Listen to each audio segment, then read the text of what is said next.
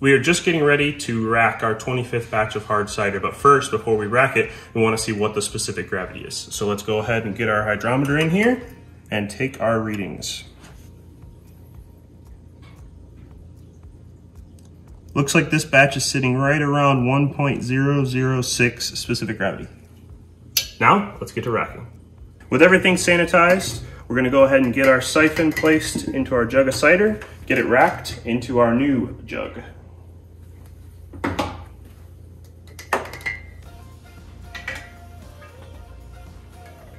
Siphoning tube in.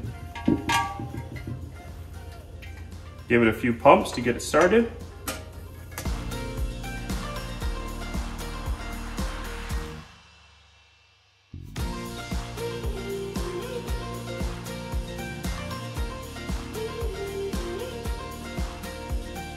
We're gonna let these carboys sit for the next two weeks or so, let fermentation finish and let these clear up. Then we have a special treat for you guys. We're going to be filtering these using our Buon Vino filter. Something cool to note here in these, this one is clearly clear. This one has been fermenting a little bit faster, so this is sitting at a 1.007 specific gravity, very close to finishing. This one, which is a little bit cloudier, it's only at 1.020, so it has about a third of the way left to go before it's done fermenting. We'll see you in a few weeks. Now we'll rack back to 25 for one last time. I don't know if I'm gonna be able to get that bung out. All right.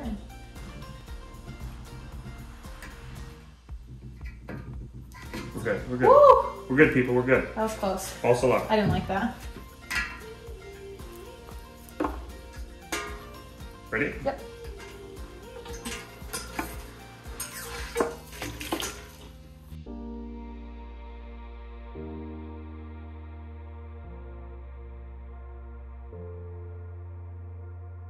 Now we just need to take a final gravity reading of batch 25.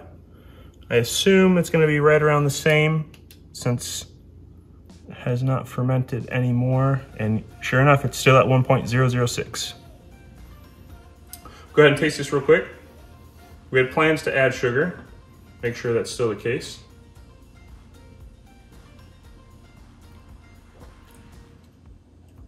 Yeah, we'll definitely need to add some sugar. It's pretty plain, pretty dry. It's not as uh, not as sour and tart as we have had with other yeasts. So that's a that's definitely a win, but definitely needs a little bit of uh, sugar or juice flavor. The only major difference between batch 24 and batch 25 is the yeast we used. So in our minds, what we're about to do makes sense. Might be a little controversial, but we're gonna try it. So this is our second time using the Super Jet filter, and this will be the second time we're using it today. We think if we just push about a gallon of water through it, it'll clean it all out and be good to use on our other batch of cider, batch 25. The pads were hovering around 5 psi pressure, and we've been told that you can go up to 20 psi before you need to change out the pads. So ideally, this should work. Wish us luck. So what we're gonna do is we're gonna take this one gallon of water, we're gonna go through this hose right here.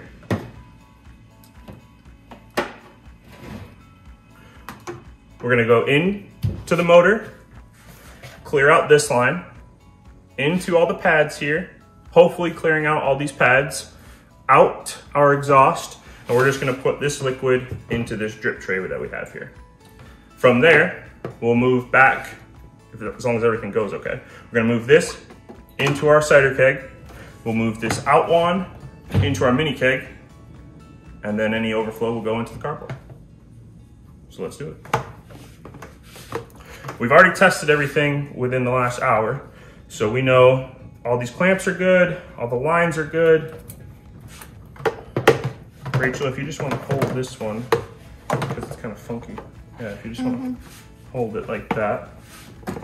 I've got our out water here. Let's see if this clamp does okay. Hmm, yeah, got it.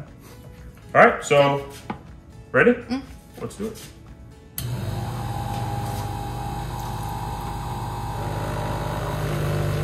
I got no cider in this line now. I got no cider in this line. We got some coming out still. Yep. Looks clear. Holy crap, yeah, look how clear that is. That looks like water. We got next to no pressure. We're sitting at two pounds. I think probably good, right? Mm-hmm. What else? So now you'll just move that over here and use it in. Yep. So now we'll switch our lines. Let's set this in here for now. We'll get this line into the keg. All right, we'll put this into our cider. Funny note, this is only our second time using these clips. We had them the whole time too. I know. All right.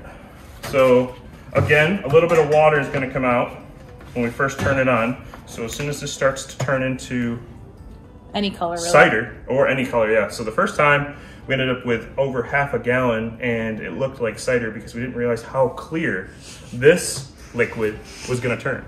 So we'll definitely keep an eye out for that. I think we're good, right? Yep, that's it. So we got a 1.75 cannonball keg that will fill. Once that's full, we put any excess in the one gallon carboy. And just so you know, everything has been sanitized before we used it, so should be good. Ready? Mm. Let's turn it on. You just watch your thing over here. Yep. Because it's already So- grabbing cider. Yep, it's already completely cider now. Look. Completely cider. Do you think that's Yeah. Yep. no pretty close? But look all the foam. You still think? Yep. Almost. It's gonna be hard to put. Yeah. I don't know why they make that a curved. Because if you're going into another carboy, and the other keg, it worked out really well. We're about half full.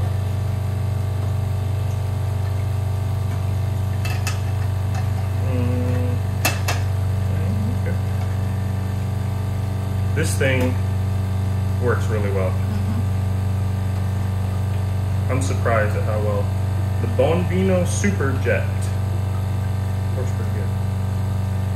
About two thirds. Hurry, you're gonna. Oh my gosh. Hey, no one said this wasn't going to be messy. We gotta add sugar still. We still. We're gonna need more than one of these. We're screwed. No, we just will save one.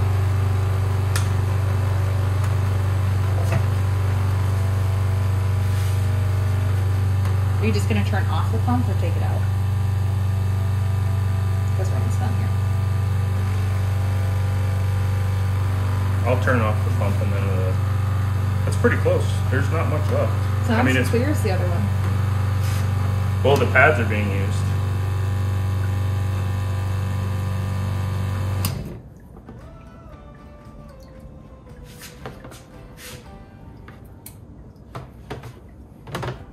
That is not as clear. Definitely. Well, the other thing too is there's a bunch of bubbles. See that? Here. I think it will clear.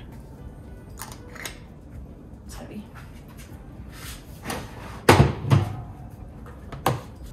Okay, now that we're done with that, we're going to clean this out and just pump a little bit of water through it. So let's get that taken care of.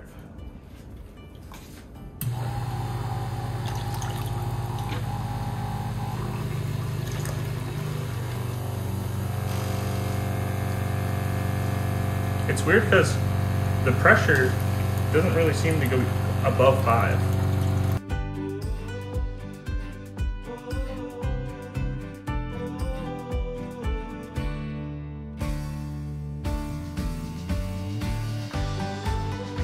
Now that we have an open line on the CO2 tank, we are going to get ready to back sweeten and force carb our mini cake.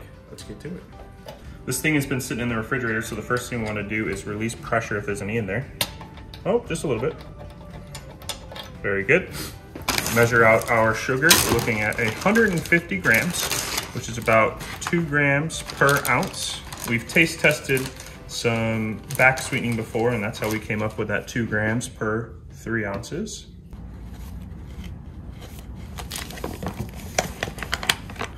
So this might start to bubble up as we add the sugar to it. So I'm gonna make sure all of our lines are tight.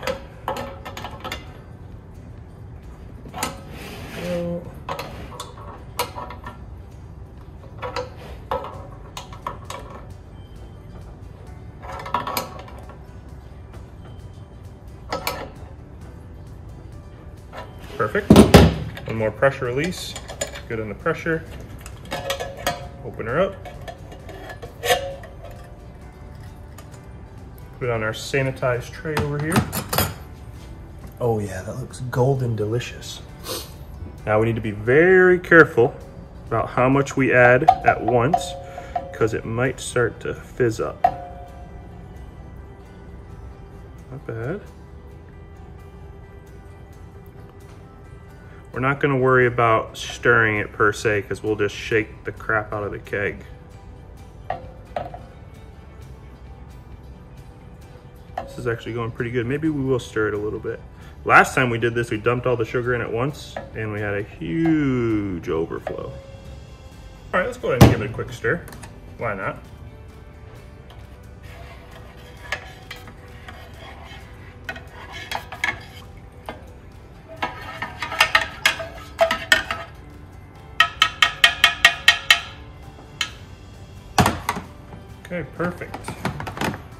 Do is seal it up, put it on the CO2. To help with pressurizing it to start and to give it a little bit of mixing since we just added a bunch of sugar, I'm gonna shake it up a bunch here.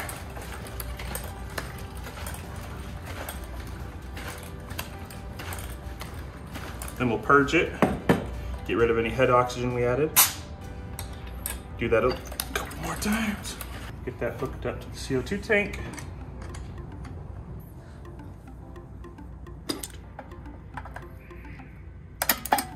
Purge the oxygen.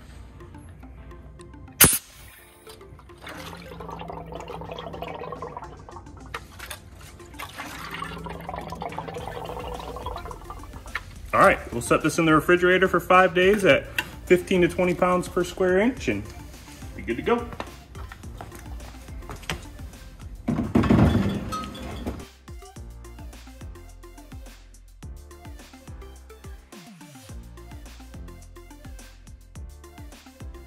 Okay, we're getting ready to bottle this batch. And last time we used the LastStraw, we had some issues. Uh, there was a lot of foaming and uh, we couldn't really keep the CO2 in there. So to keep the CO2 in those bottles, once we purge them, we've added this little rubber bung. So we'll see if that helps out at all. And then also we have the bottles currently chilling in the freezer to see if that'll help prevent some foaming. So let's see what happens. All right, ready? Mm. Okay, we're in. So we'll purge.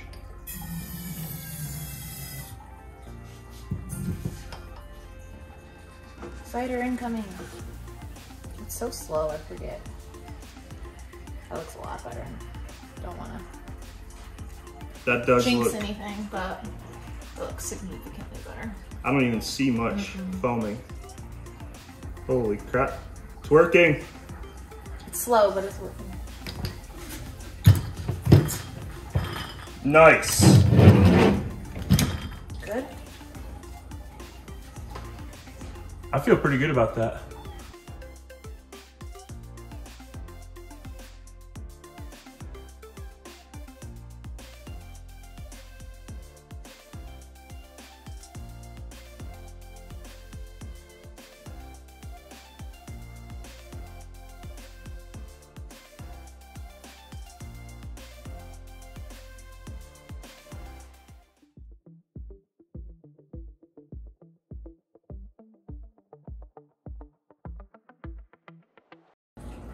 So as expected, we did get 18 bottles out of here. Some of them are a little bit lower than others. However, this was much more successful because I think we were actually capping on foam, which is what we want. Uh, next thing we're gonna do is taste a little bit, and then we've got a little bit more juice left over from this batch that we're gonna back sweeten with more juice. Then we're gonna do this whole process over again. So we'll show you real quick us adding it to the keg and back sweetening it. In the meantime, let's give this a shot.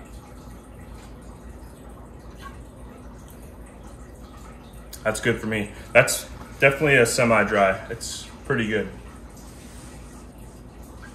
So for this version of batch 25, we're going to be taking one gallon of hard cider, that's at 6.7% alcohol, and blending it and back sweetening it with 0% alcohol Macintosh apple juice.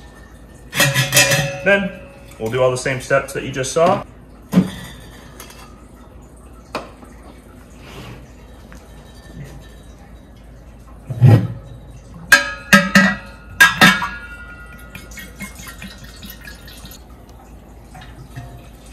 Might be a little bit more than a gallon, which is a good thing.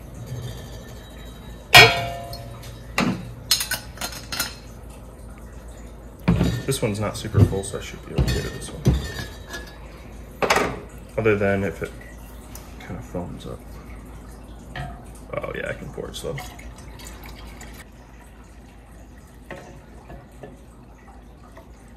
I almost know my calculations perfectly. A good eyeballer. All right, we'll let this sit in the keg for a few days and force carb, and we'll bottle it. Now we have the best part about making cider, getting to taste test it. This batch is 50% Northern Spy mixed with 50% McIntosh juice that we picked up from our local orchard, King Orchards. If you're curious about the recipe, it'll be down below in the description, or you can see a short video right here of where we created the batch mixing it with Safale yeast. At last, let's crack it open and give it a taste test. Hopefully we have the right amount of carbonation. That's a pretty good fizz.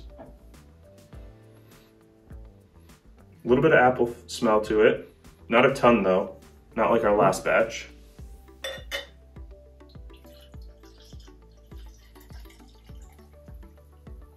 What's nice about force carbing, when we give away these bottles to our friends and family, there's no yeast cake in the bottom, so you can drink out of the bottle. Not bad. So the big thing with this is it's more of a semi-dry, closer to dry.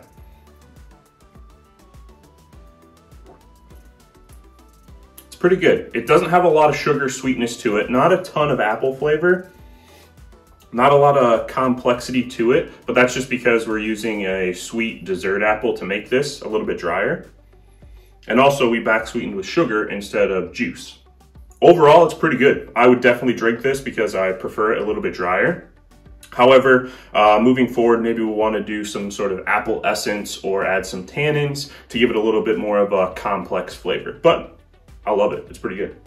That's it for today's batch. Just want to say thank you for watching and tuning in. We've had a lot of successes, particular with this cider and the LastStraw. It turned out to be pretty good. The only thing we want to make sure is we leave it in the keg maybe a few more days so it has a little bit more carbonation, but overall not too bad.